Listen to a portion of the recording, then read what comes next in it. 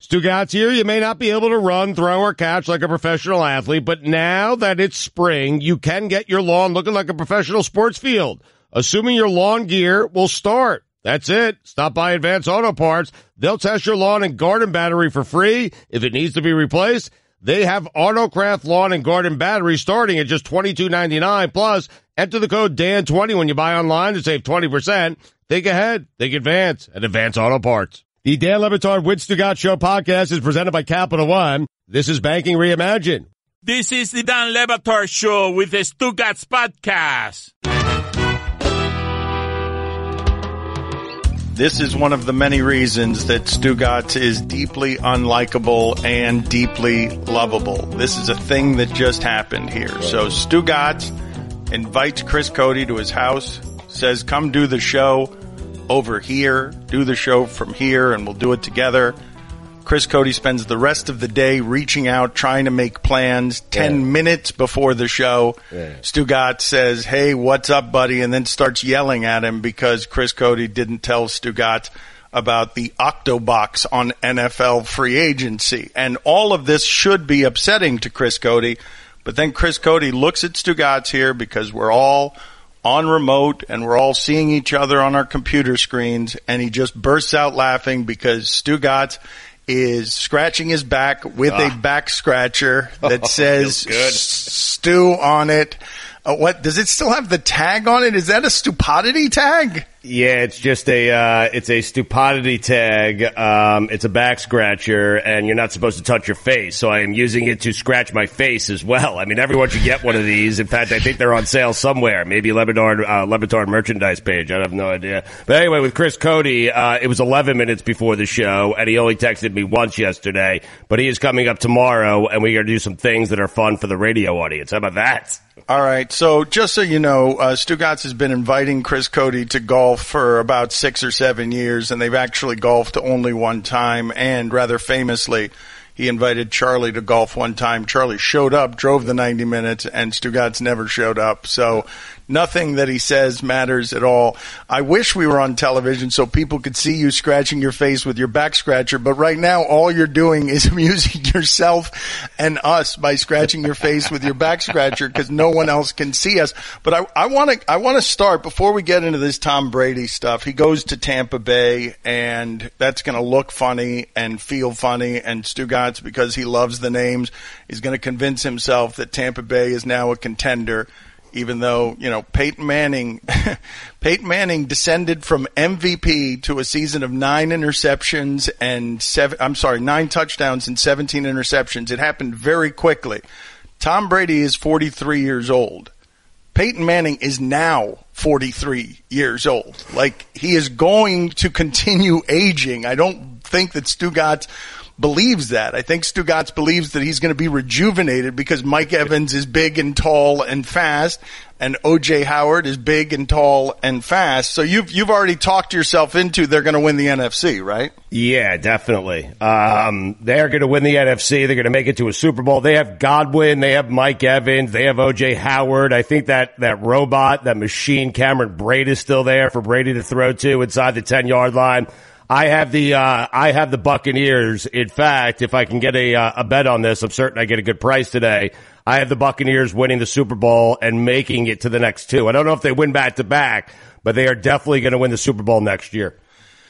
He just loves names, and uh, Tampa Bay would be playing the Super Bowl in its own city. What else do you got? Those are good names, though. You would agree. Like this whole notion that he needed Bruce Arians. He didn't need Bruce Arians. Bruce Arians needed him. Tom Brady's won six Super Bowls. He's won four Super Bowl MVPs.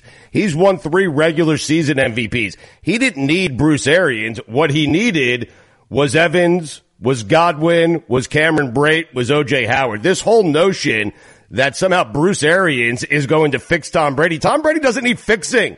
He's had 20 years of playing quarterback at the absolute highest level you could play the position. He doesn't need fixing from anyone. Bruce Arians needs Tom Brady, not the other way around. This whole, like, I am getting tired of this whole conversation that Bruce Arians is this quarterback whisperer, offensive Tired. guru, when in You're Arizona, of his it. offense has finished in the bottom just 15 started, for the three conversation years. started five seconds ago. How are you already tired of it? I'm tired of Bruce Arians, this whole offensive genius, which is, he is not. He's just not. He is. I mean, He- he, look what he did with a rookie Andrew Luck. Look what- look what he did with Carson Palmer. You watched the football life like I did this weekend. He rejuvenated that man's career. And what we saw last year in New England was Tom Brady, and he didn't really make that make it that much of a secret. He needed weapons, weapons that he was used to, tall targets. You saw how much he looked older after Rob Gronkowski retired. That's the tallest receiving corps I believe in the league, and I'm not going to put OJ Howard in that class. He was had a very disappointing year last year, but those are much better tight ends than he had in New England.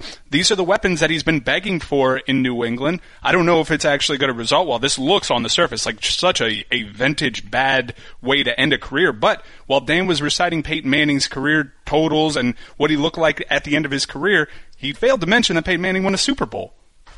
Yeah, he won a Super Bowl with a great defense, and again, a season where he had nine touchdowns and 17 interceptions. Is there? I'm I'm dead serious about this, two guys. Is there a team I could have put Tom Brady on that you wouldn't have had going to the Super Bowl? Like any team, because The Jets. Tampa, Tampa Bay, Tampa, Tampa Bay was one of the worst teams in the league last year. They, I mean, they were. They were really bad. And so the idea that he would go there and that you would talk yourself into, well, he's going to win the Super Bowl is, I mean, it's pretty laughable. Well, Dan, they were seven and nine last year. They're in a division with the. I understand the Saints are in that division. They're pretty good. They were thirteen and three, but the Falcons are also in that division. Carolina's in that division. Uh, he's certainly. I mean, it's him and Brees as the two best quarterbacks in that division, and the NFC is just not as strong as the AFC is. And so, yeah, I mean, and football's just such a strange game. I mean, you would be shocked if the Tampa Bay Buccaneers Yes, made I it to a Super be, Bowl. I would be shocked because we've talked about this. I, I will not be shocked if Tom Brady has a few excellent games next year. Tom Brady at 50 years old will be capable of having some excellent games, but there's such a profound difference if you remember what Joe Montana, Joe Montana made the playoffs when he played for the Chiefs. It was still a terrible decision. Made the playoffs because there's such a big difference between winning some of your games and then being able to win all of your playoff games. Like Right. that's like the idea that at 43 years old you would be able to summon the best at during the last 3 or 4 games of your 43 year old season to beat some of the best teams in the league. It's just such an enormous ask when the way the aging process works is that the guy can still bring it sometimes, but he just can't bring it as consistently. I think the Chiefs went to an AFC championship game with Joe Montana. They didn't win it, but they went to an AFC championship game. Did game. they? I believe I they did, yeah. I believe I. I remember him running around and losing and it looking wrong, uh, all kinds of wrong in that uniform. I'd be curious what age Joe Montana was also when he was doing that. I want to get to some Brady sound here because you're going to get a variety of different opinions from everywhere. The AFC East finally, after 20 years, I mean, these teams in the AFC East have been awful for two decades. Dol- Dolphins, Buffalo, Jets, they are so happy to have Tom Brady gone. And so now the mayor of Buffalo, this is Byron Brown, uh, this, listen to him, what he's saying as Bills fans are celebrating, obviously, that they have an opening in the division. Just a reminder bars and restaurants are open for takeout and delivery only. So, for those of you that want to celebrate Tom Brady leaving the New England Patriots and hopefully leaving the AFC East, there are no mass gatherings. Celebrate responsibly, celebrate at home, and with less than 10 people present.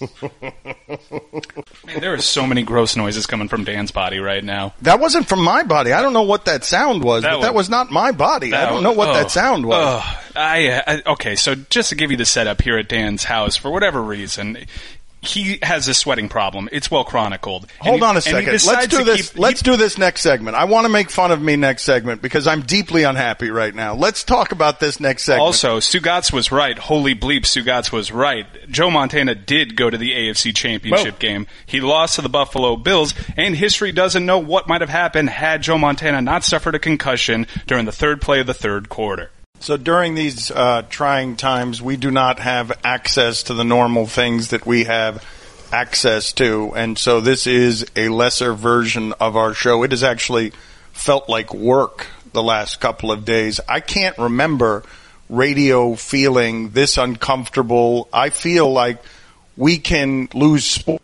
more easily than losing all of our chemistry and all of the, these things that keep happening that are just making everything around here really uncomfortable. And I know there, you know, I just saw the line at some Costco that stretched, you know, for, for what seemed like a mile of socially distant people. The economy's falling apart. People are dying. This is very low on the list of complaints, but I want to get into how bad and uncomfortable I've been the last couple of days because this show is very difficult to do if I'm not relaxed. If it just becomes another sports show if I can't talk to you guys and be confident and relaxed. But before I do that, let me just get through some Brady sound here. I got to go to Bristol to get it. Bubba, go ahead and play those WEEI callers in Boston that were talking about Brady. Uh, some people are mad.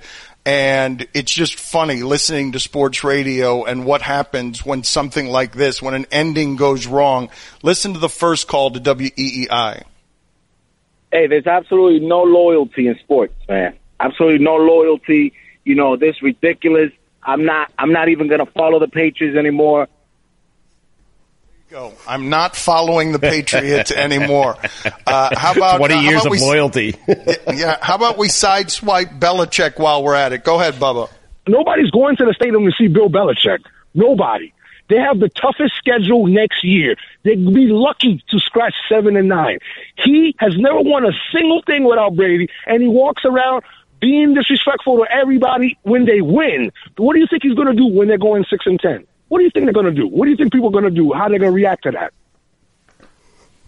I mean, he's right. he's right. Belichick is nothing without Brady. Uh, how about uh, the Patriots are tanking now? Let's hear that sound what I'm thinking is uh, this looks like a tank job to get Trevor Lawrence. I mean, we've had all these free agents that were available, and they just went by the wayside one by one. and so you you think those two guys you'd think in Tampa Bay, right? In Tampa Bay, they must be happy. They must be like totally thrilled in Tampa Bay. Let's go to a Tampa Bay sports radio caller.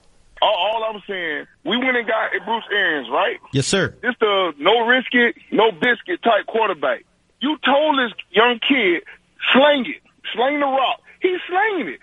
Now, you know, you you got to give him a second chance. He had four years with coaches that wasn't teaching him nothing. This is the only coach that came in that he can really learn something from. Koetter was not what it was. All it was hyped up to be. Then he didn't have a defense. Now you putting your pieces together. Now you kicking him to the curb. That, you know, come on, like you did the same thing with Doug Williams. You're repeating history, yeah, for a Super Bowl. But what you gonna do if Tom get knocked out? Then we back right back to square one.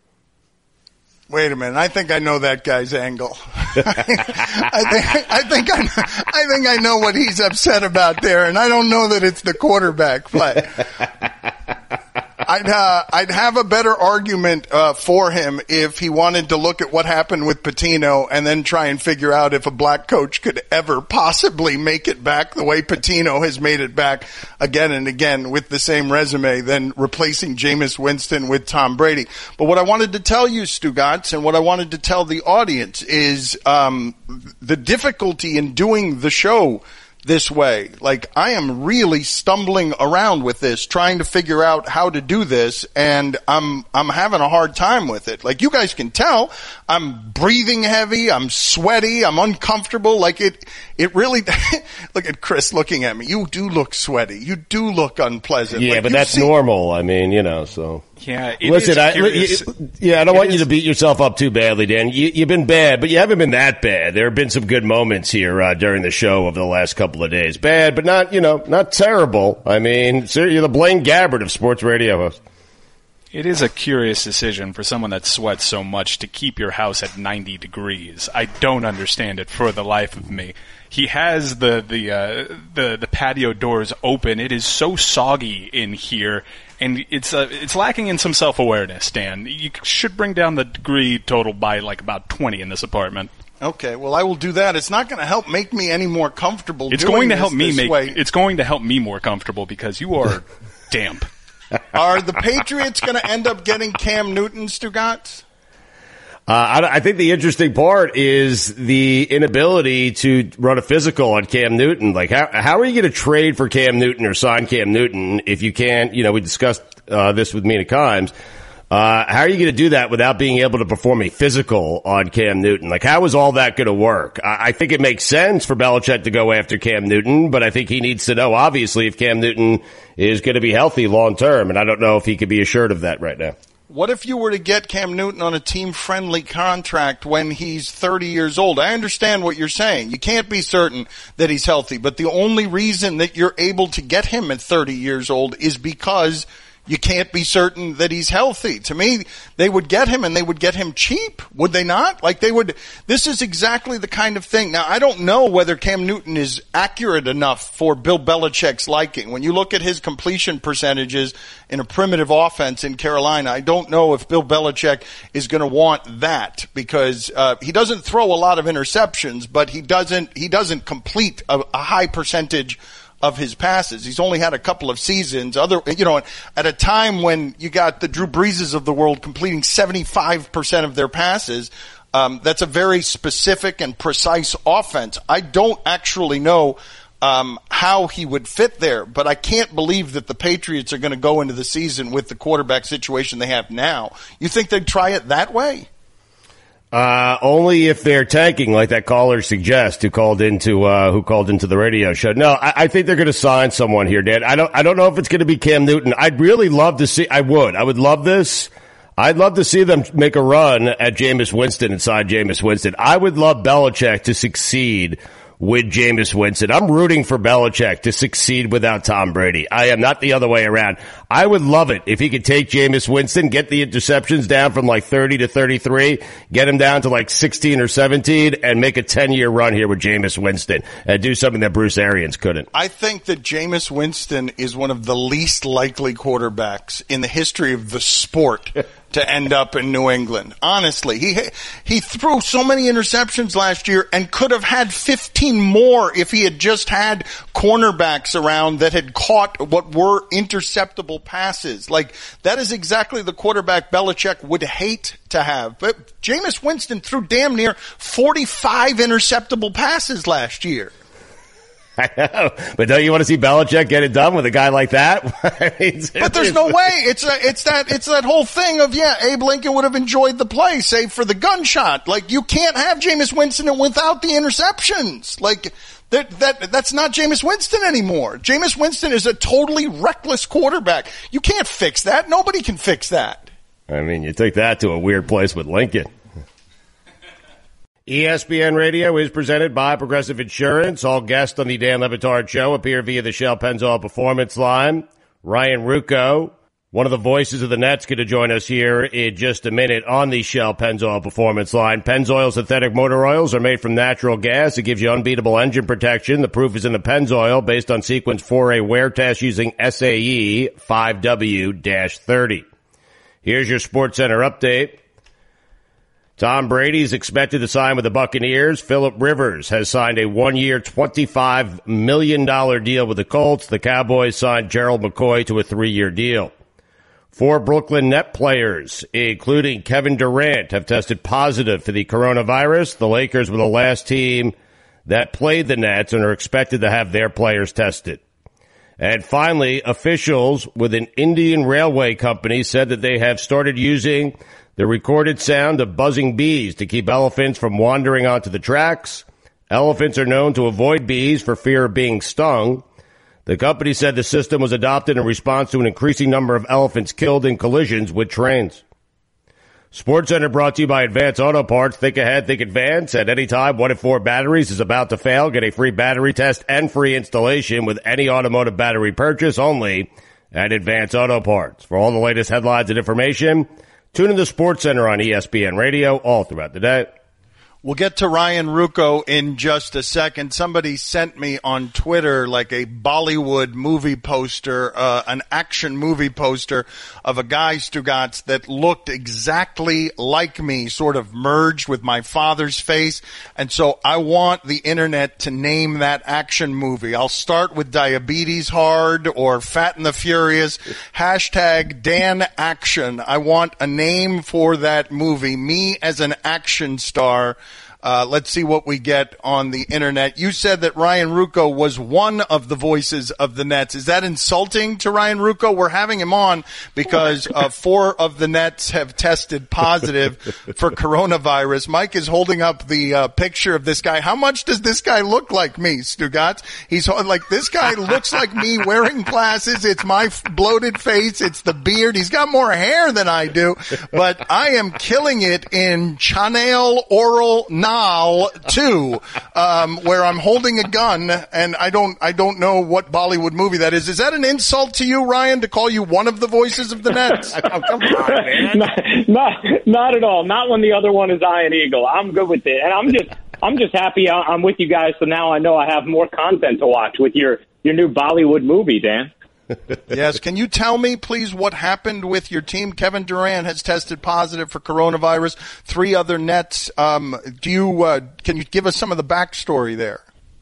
Yeah, I mean, um, so you know, we were all just on a uh, West Coast trip um, where the Nets left uh, for LA on Monday, um, and I did travel with the team. And then uh, Nets played the Lakers on Tuesday, uh, a broadcast I did. Then the team Wednesday went to San Francisco.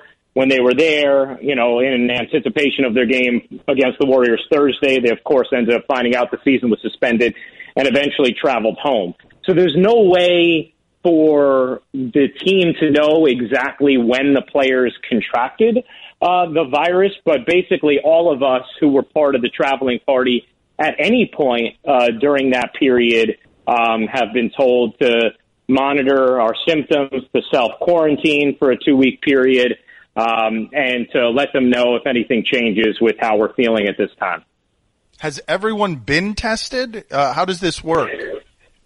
So uh, I, I am not sure exactly who has and hasn't been tested. I know for like my Yes Network colleagues, some of whom were part of the traveling party, you know, we were not tested, um, and we were just told, you know, to monitor symptoms. Because as you guys have seen, especially if you're part of you know a group that shouldn't be high risk, a lot of the you know national advice has been, hey, stay home, monitor symptoms, you know, only go and get a test if you reach these thresholds, a temperature over 100.4, or if you have a cough, um, or if you are in one of those subsects that's a little bit more susceptible. I think uh, the members of the organization uh, who were still, you know, with the team in those days um, prior, I think, you know, they may have. Uh, have gotten tested, but I, I'm not exactly sure how many did or didn't. The only thing we know for sure is the four players uh, who tested positive, and that every single one of us who uh, who was with the team at any point during that trip has been told just to self isolate uh, for a two week period starting from last Saturday. So until not this Saturday, but the Saturday after. So Ryan, like when you when you heard the news about the four Nets players testing positive, obviously this is something that anybody could catch. But as somebody who's close to that team and close to those four players, kind of put us through that process. What was going through your mind there? Well, it freaks you out a little bit, right?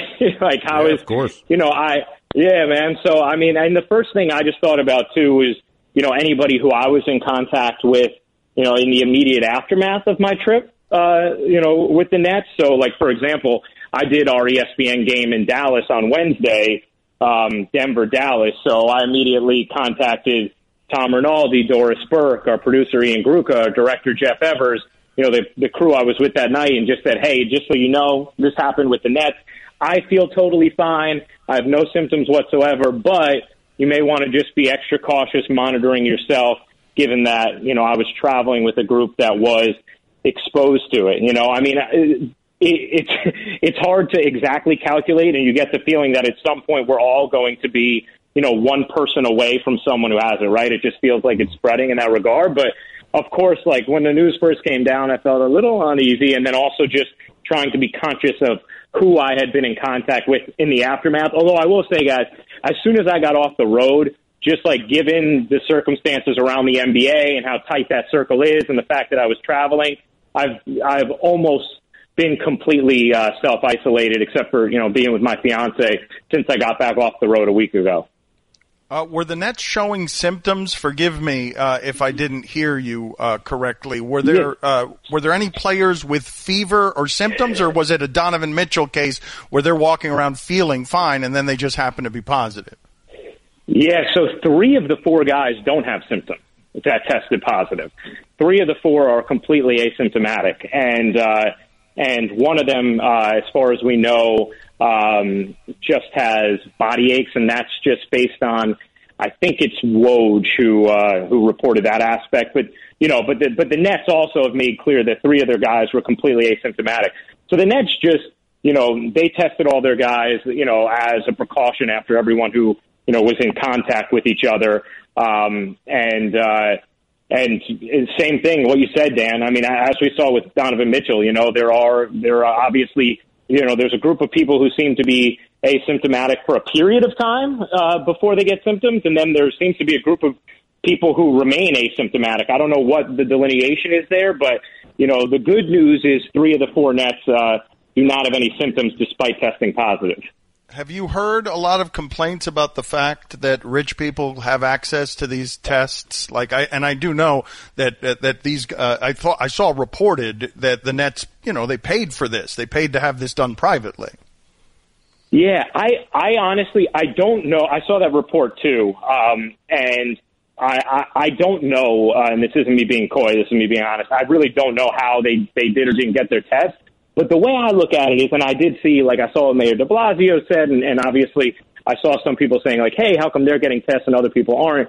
But the only thing I can think about is, like, if you're an organization and you have access to that through whatever means, like, you're going to try and take care of your family, right? Um, and that's who you're responsible for in that moment. Just like, Dan, if you, you know, I don't know, if you happen to have a test and you want to get your dad tested, you would, right? Like, I mean, I think – so I kind of think that's the way the organizations, this is just me speculating, but their mentality probably is, hey, if we happen to have access to it, we want to take care of our family and also get a handle on this. But as far as like, you know, the limited number of testing, I think it just, but obviously it's a much broader issue beyond something that the organizations can control.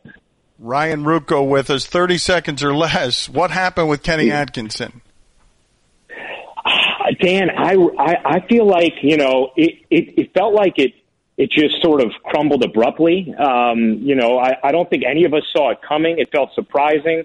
Um, but I'm guessing that both Kenny and Sean got to a place where they both kind of realized that he wasn't going to be the guy next year for Kevin, for Kyrie, and for this group moving forward. And they figured if he's not going to be the guy next year, it benefits both parties to cut bait this year, and that's why they decided now is a better time than later if it was inevitable. Ryan, appreciate your time. Thank you for the insight, sir. Stay safe. You got it. You guys as well. Be well. Thanks, Ryan. Stugotz here. People do amazing things every day, so it makes no sense that they shouldn't feel confident about doing their taxes. TurboTax believes that with the right tools and encouragement, people could do anything, even taxes. And with TurboTax Live, you even have access to CPAs and EAs on demand who are available to answer your questions or to give advice on how to file, even on nights and weekends. So you can do your taxes with ease and confidence and never feel stuck or alone during the tax process. You can also rest assured that you'll get your best possible outcome, which means you can file your taxes quickly and easily and get back to all those amazing things people do every day. TurboTax. All people are tax people. If you missed any of our interviews, check them out on demand in the Dan Le Batard Show podcast brought to you by Capital One. Why settle for average? With Capital One, you can open a savings account with a rate five times the national average. Welcome to Banking Reimagined. Capital One. What's in your wallet? Capital One NA member FDIC. All guests on the Dan Le Batard Show appear via the Shell Pennzoil Performance Line. Stugotz, I'm always talking about how difficult it is to do the measurements in football on anybody. And I would ask the audience, Guillermo, put this on the poll at Le Batard Show. Uh, can you name uh, uh, an offensive guard that's not on your team? Uh, and the reason that I ask this question uh, is because Ereck Flowers was like the second best uh, offensive lineman in the history of the University of Miami. He also uh, is the worst interview that we've ever had on this show. He came on to talk about how he didn't have an agent or he wasn't going to do it through his agent, and the interview was just dreadful. And so he he's a first round pick with the Giants, and I'm not making this number up. He allowed 169 pressures as the tackle for the New York Giants, A- and uh, and he found himself in a situation also had 29 penalties. He had that one game, I don't remember, it was against the Lions, I think, where he allowed a bunch of sacks in the first half and they had to protect him in the entire second half. And so he leaves, he goes to Jacksonville and then he goes to Washington. He moves over to guard. He's a mammoth of a man and then he ranks well as a guard, uh, because he's huge. And now the Dolphins just gave him three years, $30 million. And I say all of this to ask you the question, did the Colts actually upgrade their quarterback situation? I have no idea. I mean, I really don't. Based on how, I don't think anyone does, by the way. I think on the surface, people would say, well, of course, you went from Jacoby Brissett to Philip Rivers. But when you look at the numbers last year, I think Brissett had a better year. So, I mean, I don't know, but with Philip Rivers, what you're hoping for is you can get the guy from a couple of years ago who had one of his best seasons just two years ago. You're hoping you can get that back in Indianapolis. That's not what I'm hoping for. That's not what Mike's hoping for. What we're hoping for is that Philip Rivers takes that down uh, eight, uh, needs to go the length of the field with 30 seconds left and no timeouts uh, with him. That that isn't a Chargers problem. That that's a Rivers problem. I'm dying to find out. I'm dying to find out whose fault this is. Is it Philip Rivers or if it's the Chargers? And we're going to find out next season. Whenever it happens, where exactly patient zero is. Is it Philip Rivers or is it the Chargers having to go the length of the field with no timeouts under a minute left? Mike, if you had to guess, I, I like I think it's a Rivers thing and not a Chargers thing. I think that's too. going to follow Philip Rivers to the Colts. He's cursed. Guillermo, put it on the poll at Le Batard Show. Down eight, uh, you know, length of the field to go, no timeouts, uh, 30 seconds left. Is it a Rivers thing or is it a Chargers thing? And then subsequently also ask the question of what you're rooting for next year. Are you rooting for the Chargers to find themselves again in that situation? Do we know who the Chargers quarterback is going to be? Do we have any idea who's going to play quarterback for the Chargers? Uh, I have no idea. Is Tyrod Taylor still there? Is he is he a San Diego Charger? Uh, he is there, but is he going to be their starter or are they going to go after someone else? Because it's being said that they've tried to put a package together for Tom Brady. Oh, we got to talk about what happened with Colin Cowherd. He's taking a victory lap on, on breaking the news that Tom Brady was headed to Tampa Bay. We didn't even get to this yesterday. You were so excited because? Colin Cowherd just said Brady has made a decision, but he didn't tell us what the decision was. He just told us he got a text. And you're sitting there saying, I got a text too. Why can't I report that I got a text? Uh, I did. I got the same text as uh, as Colin got. Group. Chris Cote, because he couldn't go to your house, uh, Stugotz, even though you invited him to your house and then didn't answer any more of his texts, went to his father's house.